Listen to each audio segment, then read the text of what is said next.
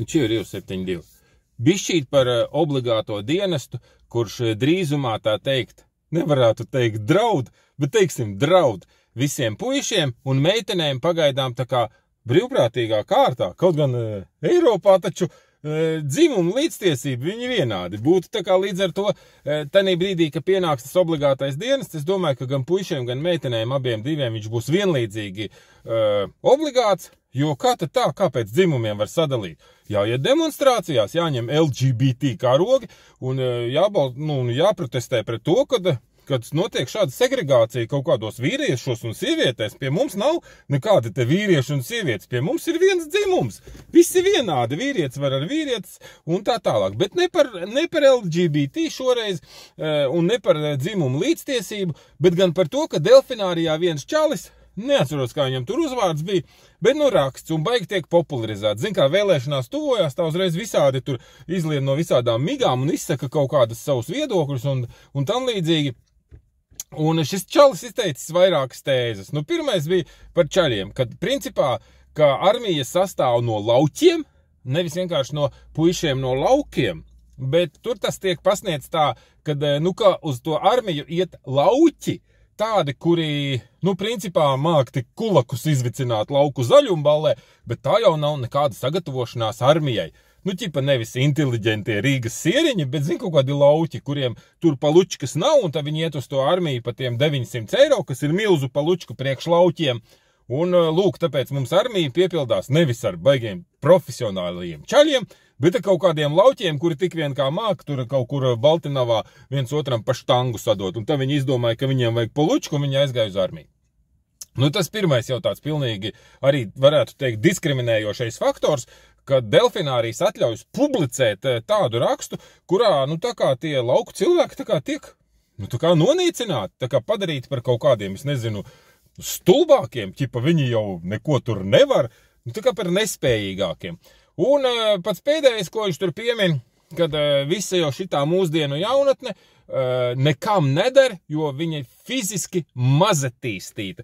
Varētu padomāt, ka mūsdienās notiek kaut kādas gladiatoru cīņas, sakāpju zirgiem, paņem zobenu vienā rokā, tur kaut kādu vairogu šķēpu, un tad dipada, dipada, dipada viens pret otru, un kurš nu kuru nogāzīs no tā zirga, tāpēc jābūt ahujenajiem musīšiem, lai varētu noturēties pie krēpēm, ja? Nē, bļaļ, mūsdienās viņi sēž dronu pilotē. Neredzēju, nu, aizēju uz YouTube, paskaties tur ukrainieši, ja, drons bija ierakumos, sēž, ū, bumbiņu, piu, bams, krievi uzsprākst, ja. Nu, vai droši vien, ka krievi jau dara tāpat pret ukrainiešiem, bet fakts kā, kā, tāds, ka karā tur viņi vairs nekādu baigos spēku neizmanto. Tur atsūtīts tas haubicas kaut kāds no amerikāņiem, ja kur varētu padomāt, ka, nu, ka tur jāņem 40 kg smaga bumba, jālādē iekšā tādā haubicā. Nē, Tur aparāts pats, spuk, spuk, tas čels tikai aizspiež ausis un paraus striķīt, bobots aiziet.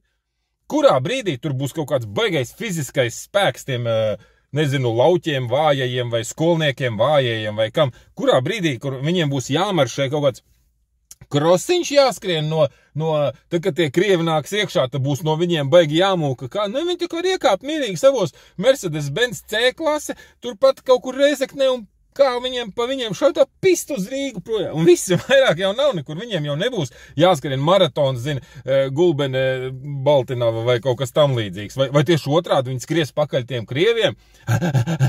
Stoj! Pa, pa, pa, pa, pa. Pa, pa, pa, pa.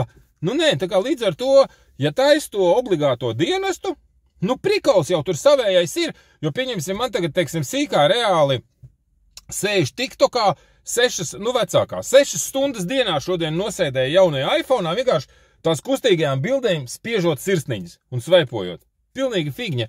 Bet viņi ir slimi, viņi ir atkarīgi no to sūdu, un, un es mātei, nu, saku, kāda tā, ko tu tur neko.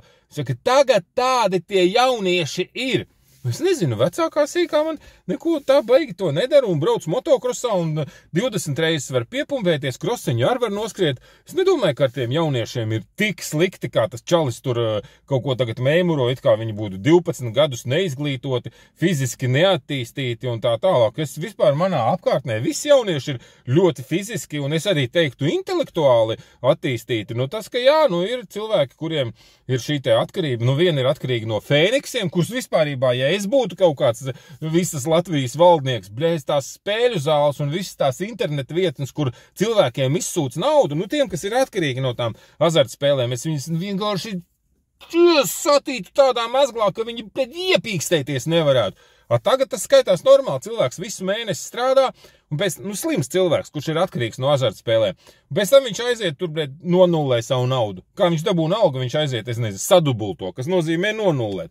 Tāpēc, lai kaut kādiem piderasiem, kas ir pietuvināti varai, lai viņiem būtu dahujā naudas no atkarīgiem slimiem cilvēkiem. Un valsts, starp citu, šos cilvēkus, es nezinu, vai ārstē vai neārstē, laikam jau skaitās, ka kaut kāda tur narkotika nodaļa ar viņiem ņemās, nezinu, straupē vai kur, bet nu reālajā dzīvē tā neizskatās. Tā kā jā, šitā nevajag pret to obligāto dienestu izturēties ar šādu nievāšanu, nievājienu un tā tālāk. Nu, tas arī viss šodienai. Davai, pišķili juhu, riku atveda bolts, kuri.